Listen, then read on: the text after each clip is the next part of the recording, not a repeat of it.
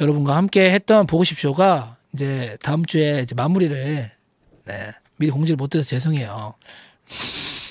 네, 다음 주에 마무리를 하게 되었습니다. 이제 보고 싶쇼가 이제 네 여러분 곁을 이제 떠나게 되었습니다. 어, 참 아, 이제 뭐 많은 분들이 아쉬워하실 거예요. 지금 많은 분들이 이제 울고 계실 텐데 저도 참 마음이 아프고요.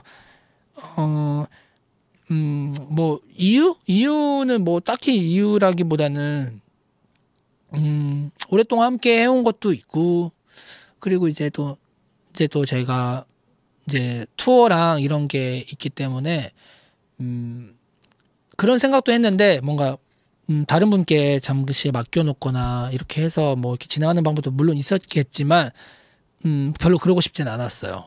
그냥 음, 이렇게 어차피 내가 집중하지 못할 때 확실하게 좀 마무리를 짓고 네 이렇게 좀 갔다 올 때는 집중해서 한 가지 일에 좀 집중하는 게 좋지 않을까라고 생각을 제가 판단을 했기 때문에 굉장히 저도 아쉽고 어, 어, 네, 그러네요. 자세한 기분이나 마음들은 다음 주에 마저 나눠보도록 하겠습니다. 어, 여러분도 이제 1년 3개월 동안 보고 싶죠 보면서 저한테 하고 싶었던 말들 또 어, 제일 좋아하는 보고 싶쇼 한 장면들 여러분들이 많이 보내주셨으면 좋겠고요.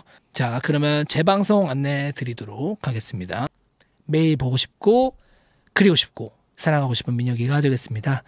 어, 전 다음 주에도 수요일 밤 11시에 찾아오도록 할게요. 끝곡은요, 몬스엑스의 원데이입니다.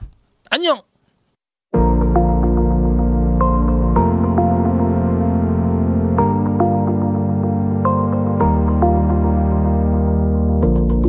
Oh, somewhere deep down in my heart, I still love you.